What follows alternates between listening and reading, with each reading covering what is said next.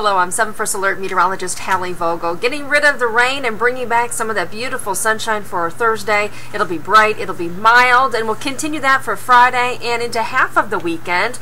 The backside of the weekend on Sunday, we'll be tracking showers and storms returning. As far as the situation up north, and again, our temperatures have been warming today, still ice on Lake Superior. Again, this is the latest we've ever seen ice on any of the Great Lakes with just over a half a percent. So again, it is thinning, it's winding down down, but still there.